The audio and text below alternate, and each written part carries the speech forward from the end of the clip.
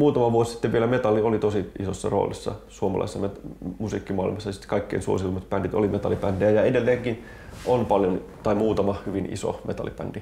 Mutta siinä on selvästi käynyt niin, että se ei enää genrenä sinänsä ole vetovoimainen. Eli uusia isoja metallibändejä tulee tosi vähän.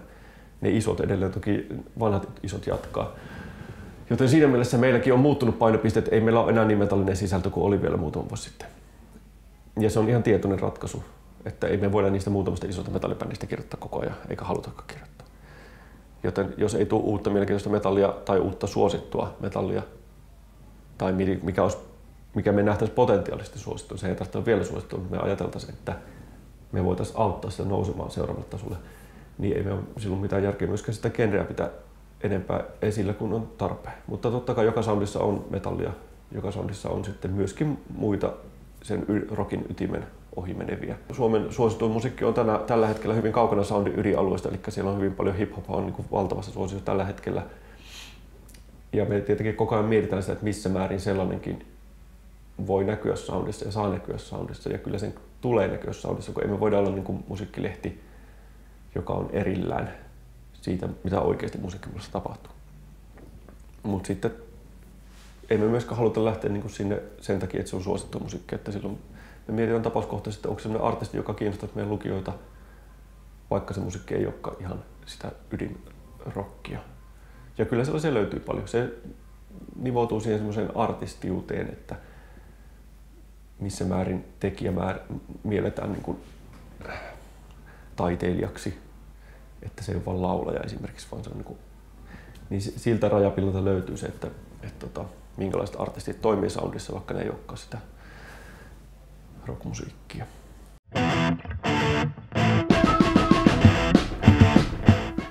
No kyllä se on, sehän on pitkälti vain tietokoneen ääressä musiikin kuuntelua ja sähköpostiin vastaamista. Sitähän se on nykyään kaikki toimistotyöt. Siis lehtihän ilmestyy kerran kuussa, ja mikä tarkoittaa sitä, että se kuukausi jakautuu kahteen viikkoon, jotka on sellaista suunnittelua, mikä on pitkälti sitä, että mä mietin avustajien kanssa ja hyvin paljon itsekseni, että mitäpä parin seuraavan lehteen nyt tulisi että mitä soittelen levyyhtiöihin ja kyselen, että mitä julkaisuja on tulossa ja seulon sähköpostia, että mitä siellä nyt onkaan. Niin kuin, ja myöskin ulkomaisia medioita seuraan, että mitä julkaisuja on tulossa ja kaikkea sellaista niin kuin, yrittää vetää itsensä kartalla siitä ja siitä poimii niitä, mitkä voisi sopia soundilehteen ihan siis tilan puolesta. Siihen sopii valitettavan pieni määrä juttuja per kuukausi, kun puhutaan lehdestä.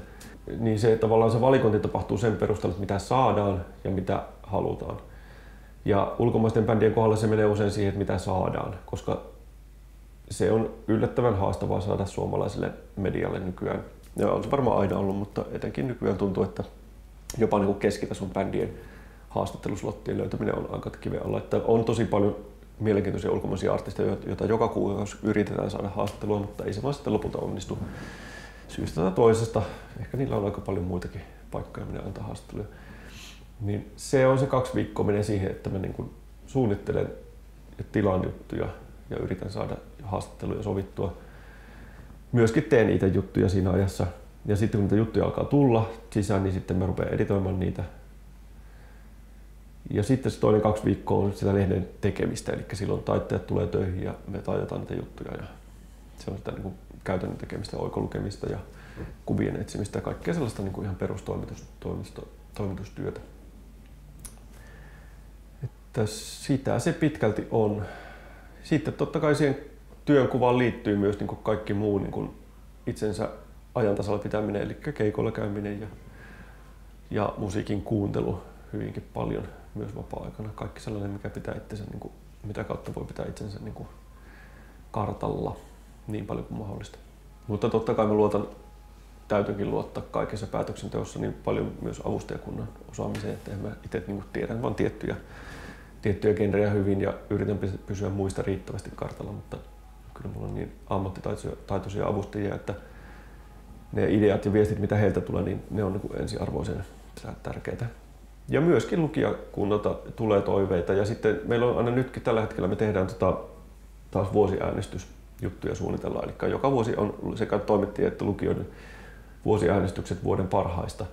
niin se lukiolta tuleva vuosiäänestyspalaute on aina hyvin arvokasta, koska siitä mä näen, että onko mä missannut jotain ilmiöitä, onko jotain bändejä, mitkä selvästi nousee sieltä, mitä me ei ole noterattu, tai jotain semmoisia, mitkä niin näyttää kuplivan siellä, jotka vois ensi vuonna sitten tulla, tulla soundissakin esiin, niin se on tosi arvokkaita tapoja saada, saada palautetta.